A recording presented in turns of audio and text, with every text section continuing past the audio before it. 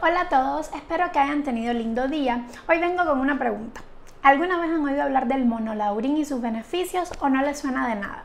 Bueno, hoy quiero comentarles un poquitico acerca de este derivado del ácido láurico. El ácido láurico me imagino que si hay muchos de ustedes que lo hayan oído. Está presente en la leche materna, pero también en algunos derivados del coco como los aceites, las leches de coco y últimamente esos productos cada vez son más importantes para nuestra salud. Resulta que cuando nosotros consumimos ácido láurico, dentro de nuestro cuerpo este se convierte en monolaurín. Las investigaciones presumen que el monolaurín es una fuente súper importante para prevenir y combatir infecciones, ya que se encarga de romper toda la capa de grasa que algunas bacterias y algunos virus forman para protegerse de las células del sistema inmune y así pasar desapercibidos por nuestro cuerpo.